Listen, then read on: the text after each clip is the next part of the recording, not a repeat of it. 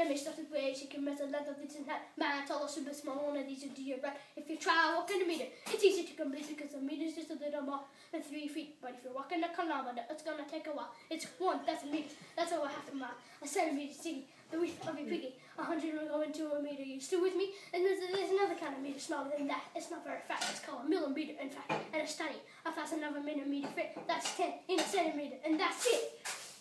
Meters, liters,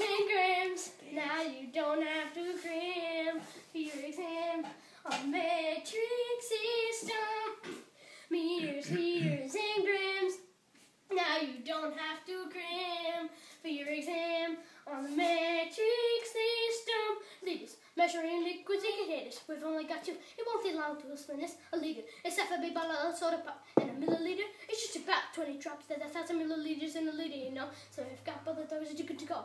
Now we can move on to grams. Measuring weight. Kilograms, milligrams. Yeah, we're keeping it straight. It's pretty simple. A paperclip weighs about a gram. A big textbook is a kilogram, man, but a milligram is a little harder to size because 10 milligrams is about a grain of rice. 1,000 milligrams is a gram. 1,000 grams is a kilogram. Now we've got the grams. We've also got the liters. Put them all together with the meters. The meters! Meters, liters, and grams. Now you don't have to cram for your exam on system. Meters, liters, and grams. Now you don't have to cram for your exam on the.